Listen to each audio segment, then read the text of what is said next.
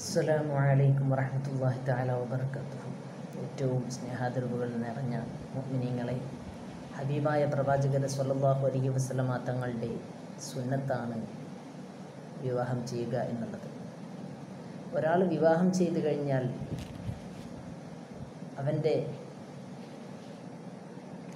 ഒരുപാട് പ്രശ്നങ്ങൾക്കുള്ള പരിഹാരം അതോടെ അവൻ കാണുകയാണ്.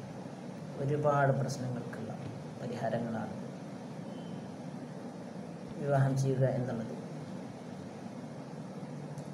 അതുപോലെ ഗർഭം ധരിച്ച് പ്രസവിച്ചാൽ അള്ളാഹു സുബാനഹുവ താഴല നൂറ് ഷഹീദിന്റെ കൂലി വാഗ്ദാനം ചെയ്യുന്നുണ്ട്.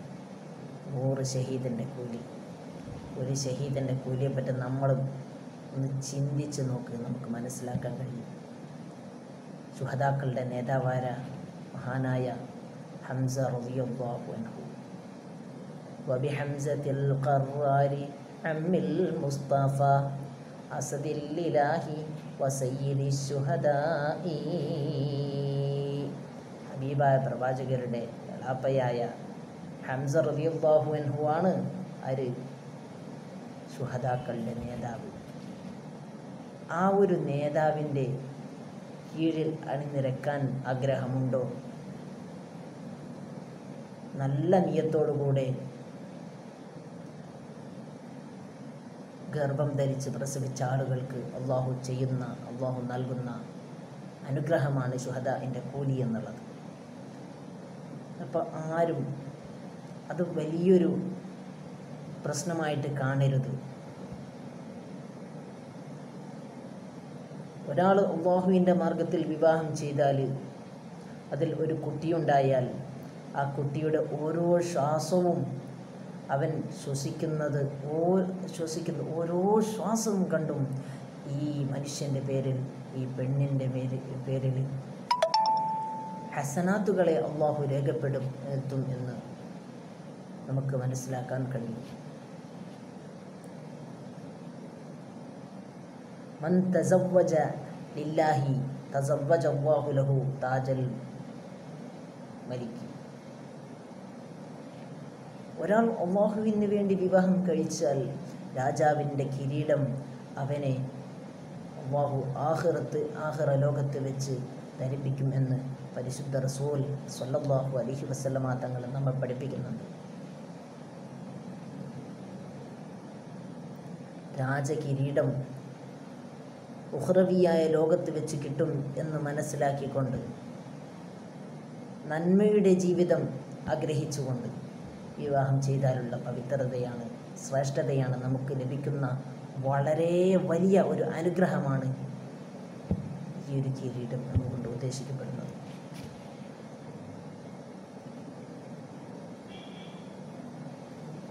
അള്ളാഹുവിന് വേണ്ടിയാകണം അല്ലെങ്കിൽ ചുരുട്ടി മടക്കി എറിഞ്ഞ് നിന്റെ മുഖത്തെറിഞ്ഞ് തരും അള്ളാഹുവിന് വേണ്ടിയാകണം.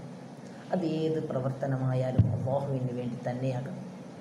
ഇത് വിവാഹത്തിന്റെ കാര്യം മാത്രമല്ല നമ്മൾ വിചാരിക്കും വിവാഹത്തിന്റെ കാര്യം മാത്രമാണ് അള്ളാഹുവിന്റെ അള്ളാഹുവിന് വേണ്ടി ചെയ്യേണ്ടത്.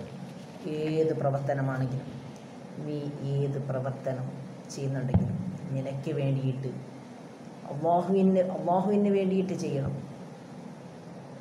ആത്മാർത്ഥമായിട്ട് നീ ചെയ്യണം. നിന്റെ സഹോദരൻ കാണാൻ വേണ്ടി നിന്റെ കൂട്ടുകാരൻ കാണാൻ വേണ്ടിയിട്ട് നിന്റെ നാട്ടുകാർ കാണാൻ വേണ്ടിയിട്ട് നീ ചെയ്യുന്ന ഒരു പ്രവർത്തനം പോലും അള്ളാഹ് സ്വീകരിക്കൂല. അത് ചുരുട്ടി നിന്റെ മുഖത്തെറിഞ്ഞു തരും. നമ്മൾ ചെയ്യുന്ന ഒരു നന്മ പോലും ആകെ നമ്മുടെ തലക്ക് മുകളിലേക്ക് ഉയരുകയില്ല. അങ്ങനെ ഉയരണമെങ്കിൽ ആത്മാർത്ഥമായിട്ട് അള്ളാഹുവിന് വേണ്ടി നീ ഇബാദത്ത് ചെയ്യണം. ഏത് പ്രവർത്തനമാണെങ്കിലും. ഇന്നമല്ല അമാലി ബിന്നിയാസ് കാരണം അമലുകളൊക്കെ നീയത്തുകളെ കൊണ്ടാണ്. ഏത് പ്രവർത്തനമാണെങ്കിലും അവൻ കാണാൻ വേണ്ടിയിട്ട് എന്റെ കൂട്ടുകാരൻ കാണാൻ വേണ്ടി ചെയ്യാണ്. എന്റെ കൂടെ ഒരു കൂട്ടുകാരൻ വന്നിട്ടുണ്ട്. അതുകൊണ്ട് ഇന്ന് ഗുഹനേശം ഒരു സുന്നത്ത് ഓടിയിരിക്കട്ടെ അവൻ സുന്നത്ത് നിസ്കരിക്കാത്ത ആളാണ്. കൂട്ടുകാരനുണ്ട് കൂടെ നിസ്കരിക്കാം.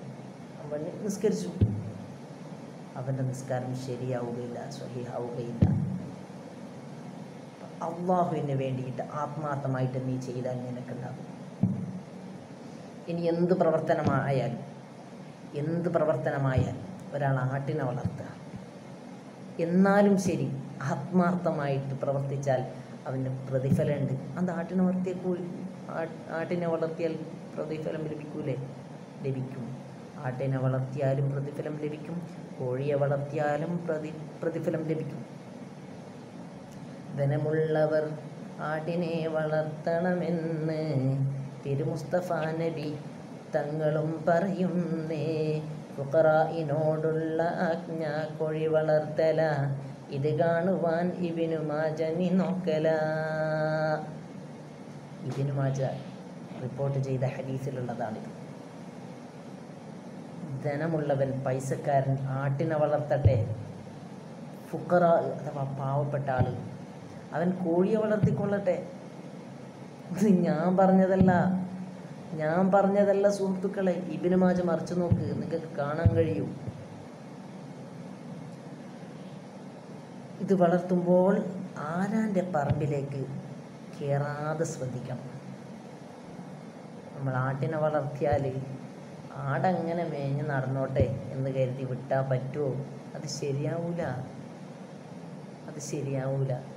പ്രിയമുള്ളവരെ നമ്മൾ ശ്രദ്ധിച്ച് വളർത്തണം.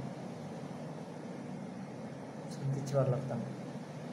അപ്പോൾ നമ്മുടെ നമ്മുടെ സ്ഥലത്ത് നിന്ന് മേഞ്ഞുകൊണ്ട് മേയാനുള്ള നമ്മുടെ സ്ഥലം നമ്മൾ കാണണം. അതിനുള്ള വഴികളൊക്കെ നമ്മൾ കാണണം. അപ്പോൾ ഇതൊക്കെ പ്രവർത്തിക്കുമ്പോൾ എന്ത് ചെയ്യുകയാണെങ്കിലും പറഞ്ഞു വരുന്നത് ആട്ടിനെ വളർത്തിയാലും കോഴിയെ വളർത്തിയാലും അതിൽ ആത്മാർത്ഥമായിട്ടുള്ള നീയത്ത് വേണം. പ്രതിഫലമുണ്ട് അതാ നമ്മൾ നിന്റെ പെണ്ണിന്റെ വായിൽ നീ ഇട്ട് കൊടുക്കുന്ന ഭക്ഷണത്തിന് നിന്റെ മക്കളുടെ വായിൽ നീ കൊടു കഴിക്കാൻ കൊടുക്കുന്ന ഭക്ഷണത്തിന് വരെ പ്രതിഫലം അവ തരുമെന്ന് മഹാനായ മുത്തു മുഹമ്മദ് മുസ്തഫ സല്ലല്ലാഹു അലഹി വസ്ലം അതാണ്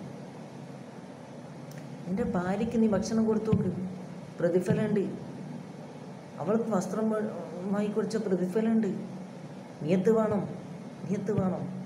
അവൾക്കൊരു ചെരുപ്പ് വാങ്ങിക്കൊടുത്തു. അതോ ആ പൈസ നഷ്ടമായി എന്നൊരു ഇരുന്നൂറ്റമ്പത് പോയി മുന്നൂറ്റമ്പത് പോയി. അവൾക്കൊരു ചെരുപ്പ് വാങ്ങി അങ്ങനെ ഒരു മുന്നൂറ്റമ്പത് നഷ്ടമായി എന്ന് വിചാരിക്കണ്ട.